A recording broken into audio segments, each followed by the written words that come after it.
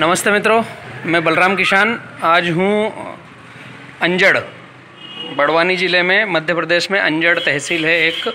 यहाँ पर मेरे मित्र हैं डॉक्टर यादव, आप माँ रेवा आयुर्वेदिक पंचकर्म एवं पाइल से स्पेशलिस्ट है, ये पंचकर्म करते हैं, और आज यहाँ पर कुछ जादू हुआ है, मैं आपको मिलवाता हूँ, मेरे ब्रदर से नमस्ते सर। पहले मैं रवि भाई का इंट्रोडक्शन लूँगा माफ़ी चाहूँगा। ब्रदर आपका नाम और परिचय? रविजा हम्म। तलून। हम्म।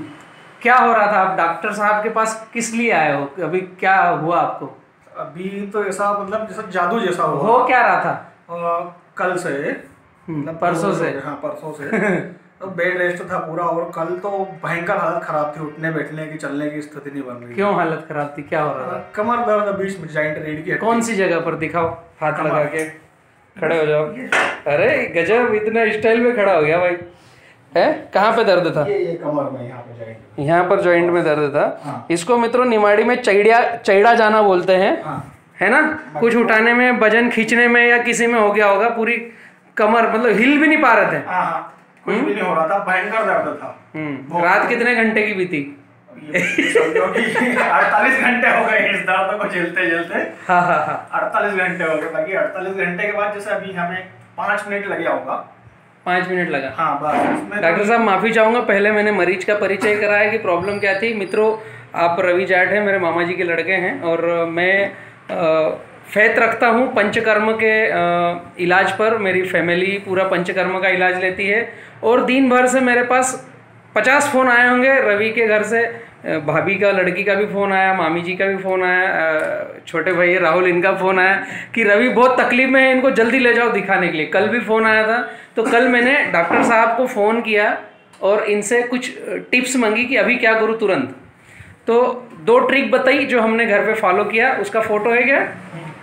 वज़न पैर पर रखना और कमर को खींचना घर पे ही रहे कुछ किया नहीं।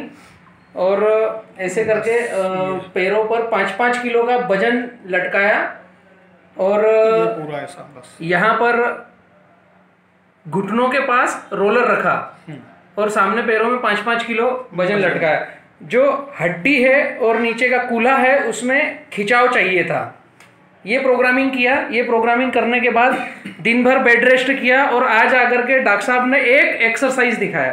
क्या किया रवि आपने? जादू हो गया कुछ नहीं। मित्रों कुछ दवाई गोली नहीं कुछ प्रोग्राम नहीं केवल एक एक्सरसाइज करी है। एक्सरसाइज करी है उसमें और एक मिनट में तो बिल्कुल ऐसा कि सारा दर्द गायब। हाँ। कमर ठीक। कमर ठीक पूरा। अभी मेरे मित्र सखा का आपसे परिचय करवाता हूँ। मेरे मित्र हैं मिस्टर डॉक्टर यादव साहब सर मैं ज़्यादा नहीं बोलूँगा आपसे आपका पूरे परिचय चाहिए। मेरा नाम डॉक्टर विनोद यादव। ओके। और पंचकर्म क्लिनिक है मेरा। जी। बलराम भाई मेरे अच्छे मित्र और बड़े भाई हैं। ठीक है। तो इनके भाई को कमर दर्द हुआ था कल इनका कॉल आया। इस बीमारी को बोलते क्या है? साइंटिफिक नाम क्या है? साइंटिफिक नाम ये है कि इन्होंने वज़न उठाया था हम्म, तो कमर के जो मणके रहते हैं अच्छा जो रीढ़ की हड्डी हाँ, मणके हाँ। रीढ़ की हड्डी के जो मणके रहते हैं ओके। वो कहीं ना कहीं ज़्यादा वज़न एकदम से उठाने में कहीं अपनी जगह थोड़ी सी छोड़ देते सामान्य भाषा में बोले तो। ओके। डिसलोकेट हो गए थे।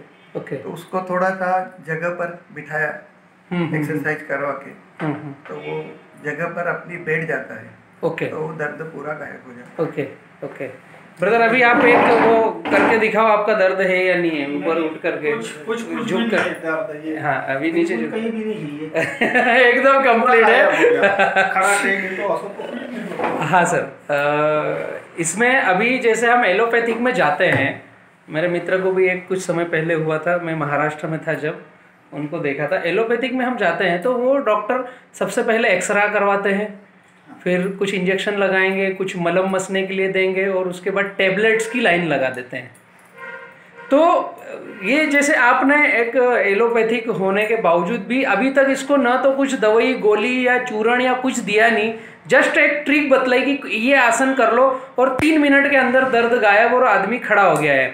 तो ये दोनों लाइनें एलोपैथिक और आपकी लाइन में मतलब हम कंफ्यूजन है पब्लिक कि एक्सरा कराएँ या क्या करें मतलब? ये क्यों इतना द्वंद्व है? वो भी एक्सरे सीधे नहीं कर पाते हैं।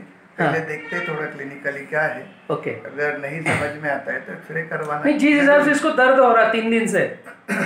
मैं आज गाँव में नहीं था लेकिन मुझे पूरा भरोसा था आपके शब्दों पर कि बलराम इसको बेड रेस्ट कराओ और पैरों में पाँच पाँच किलो टांग के रखो एक दिन बाद मुलाकात करेंगे।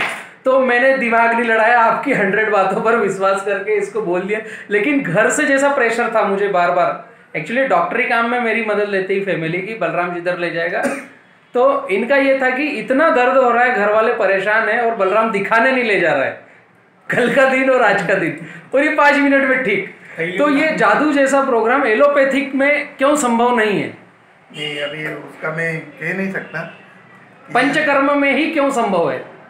क्योंकि बीमारी एकदम से आई थी ना पाँच मिनट में दर्द शुरू हुआ था। हाँ तो पाँच मिनट में बंद हो सकता है सकता राइट है। जितनी जल्दी आई उतनी जल्दी जा सकती है अगर धीमे धीमे आई तो धीमे धीमे। जाएगी। डॉक्टर साहब मेरे बहुत सारे मित्र हैं पूरे हिंदुस्तान में हैं और मैं काफ़ी समय से सोच रहा था मैं अभी फार्मर एजुकेशन किसान पाठशाला रन कर रहा हूँ।